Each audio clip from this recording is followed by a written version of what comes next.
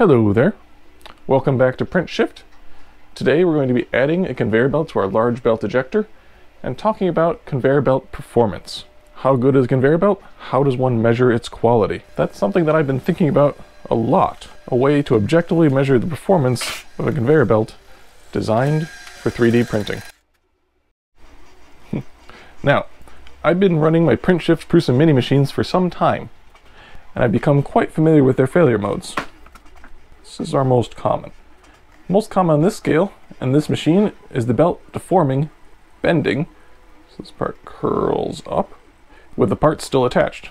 This causes the part to rock back and forth, and detach during printing, or catch the nozzle for a layer skip, which you can see pretty clearly on this guy.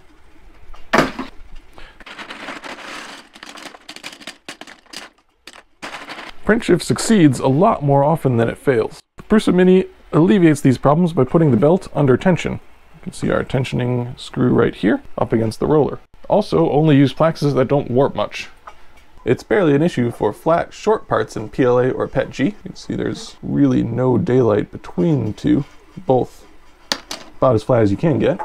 But for ABS parts, you have quite a bit more deflection. If you were trying to print more than one of these at a time, the first would deform the belt enough to ruin the second. And for those of you who caught Prusa Live number 37, this is the same bucket, but an entirely new set of parts. I see the same problems on other printers as well. My printer belt from back in the day, the very first belt printer, and even modern machines like the baby belt here. Still tuning this guy, but you can see the higher we get, the more the part is rocking back and forth. This is a Benchy being eaten by a shark. More updates coming on the Belty Baby Belt! I know what it's called. We have a new Z drive to put in that should alleviate this, and I want to run some of my testing on it as well. Currently, when I want to print tall parts, I do the classic adding a large brim or a wrap to the parts, and that works okay for now, but the whole point of PrintShift is to develop a better belt printer and hopefully better printers in general. More on that later. Let's check out this test mule. This printer is named Boxxy Brown. I'm going to throw a Kapton belt on him for a large belt ejector.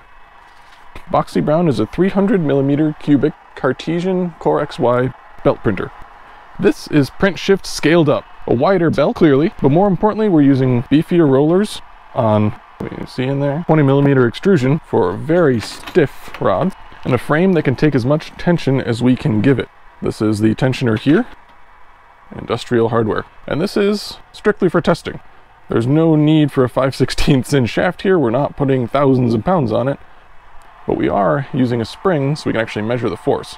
It takes 20 kilograms of force to compress this spring all the way. Can't quite do it one-handed, and we have two of those, so we'll be putting up to 40 kilograms of force on the bed before we run out of spring tension and can't tell you what the tension is. The bed itself here is a 6mm slab of aluminum tooling plate, held in place only by gravity. So later when we're putting the belt on, you can actually take the rollers off and slide the belt on, a continuous belt from the side. Or what we're going to do is build the belt in place just because a little easier. Basically, I'm using Boxxy Brown here to test belt technology that can be applied to a Voron or say a Prusa XL.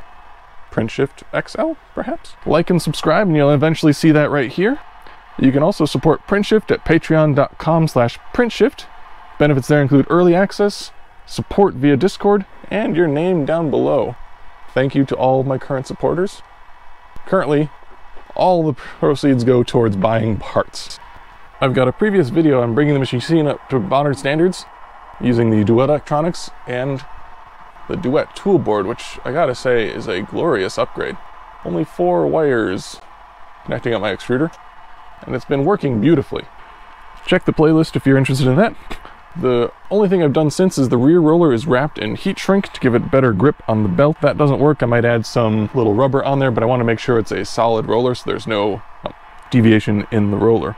The major upgrade of this machine over the Prusa Mini are these stepper motors driving the belt, and the stepper motors are controlled by the Duet Electronics. These two guys. Why that's important, but whatever. That means I can move the belt precisely, so I can actually use the XYZ axes to print on an angled plane, and use the belt as a fourth axis to move my part out slowly and make parts larger than the printer. Now, the software for that doesn't exist, but if we get more people building these machines, hopefully more people will be interested in working on that. Right, I'm gonna get the camera fixed in place so we can hopefully watch the belt install reasonably. That's pretty good. So, belt forming. In order to do this install, you need a belt. I'm going to stick with my two millimeter Kapton film. Same thing I'm using on the Prusa Mini. You need some really good, strong adhesive PET tape. Got this off of McMaster. Same stuff on the Mini again. And to make life easier, I'm using some painter's tape to hold the belt in place until I can cut it.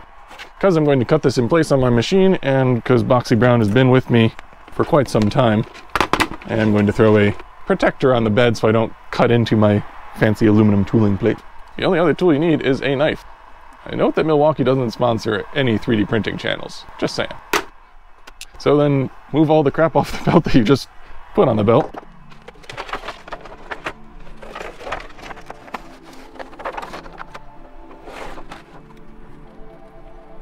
I'm going to line up the belt edges and tape it in place, just tack it in place using the blue. Basically we need to get it oriented so that we have some chance of making a straight cut on this. Line up both edges. Now I've been a little surprised with PrintShift that the quality and the straightness of your belt is not as important as I was expecting. Even on a machine that small, I haven't had issues of belt tracking or anything else. Not really used to working inside this machine because it's really the first time. I figured it was big enough it wouldn't be a trouble, but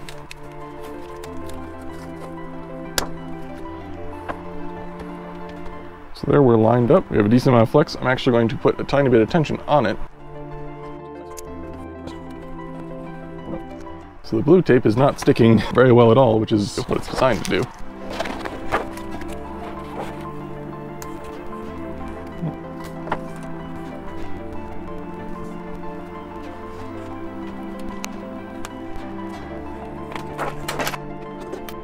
Alright, so lesson learned cutting the belt in place is much easier on the Prusa Mini, which is admittedly how I normally do it, just because, you know, laziness. It's okay.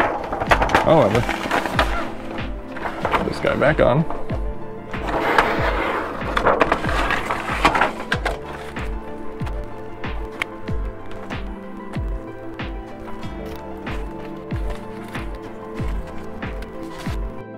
Certainly good enough for testing our belt object.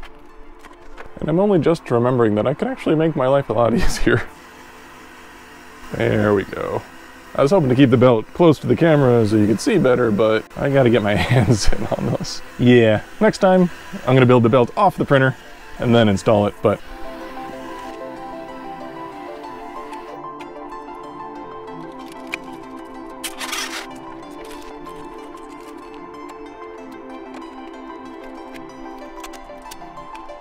We got tape in underneath. I'm going to attach this a little bit better.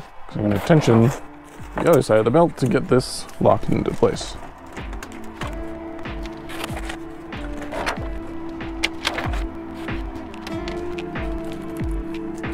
There we go.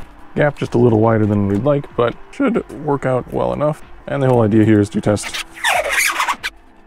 My plan is to put a lot of tension on this belt, more so than I'm going to do today down the line I have stiffer springs on order. Again, thank you patrons, so we can test how far we can go. All right, you guys see the tensioners? So in order to tension the belt, to these threaded rods, or two of these eye bolts, I'm pulling it either direction, and we have the crowned roller that should keep the belt tracking and try to alleviate any pillowing in the center of the bed. The reason I'm using springs is that I can actually measure the tension between them. So I can put the same tension on both sides. The force of the spring apprise is linear with its length. Tighten one almost all the way, get the other one to a similar spot. And we're gonna back off and see how well we can roll the belt before we worry about going much further. Home the entire machine. You guys in the way? Technically no. Almost like I did that on purpose.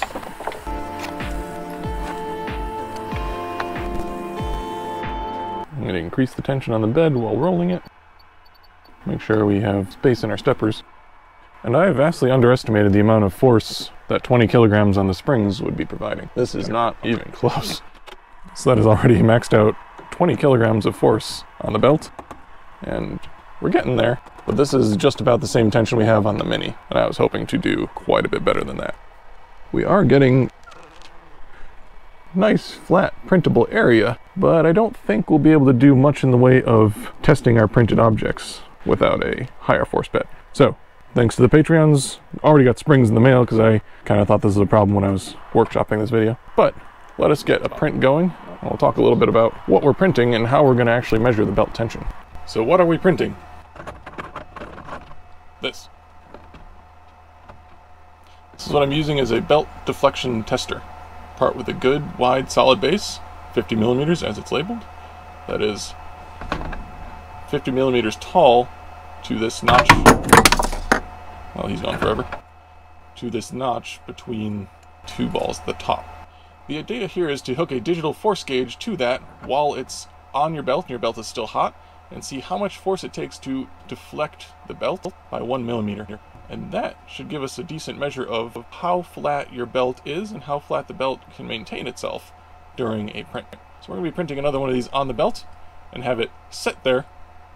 We'll come back and give it a test. I'll put this design up on prusaprinters.org or whatever its new name will be. I will use it to test belt printers going forwards. I wanted to introduce the part now in order to collect feedback on its utility.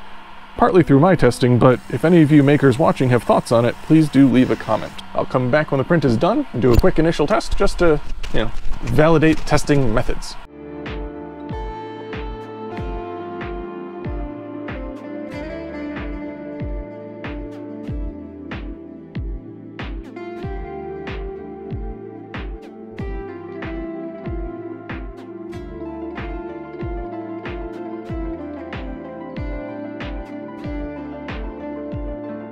Alright, so this object's designed to be used with a digital force gauge. This is a 500 gram model, so it's actually only measuring down to hundredths of a kilogram. Now, we're not trying to measure belt adhesion. This is assuming that your object is sticking to the bed well. What I want to measure is the belt's tendency to deflect under load. Now, this belt, under 20 kilogram spring force, don't think it's going to do terribly well, but let's take a look and see what's required to move the bed about a millimeter. So, right about there. So looks like we get a little deflection, about 0.4.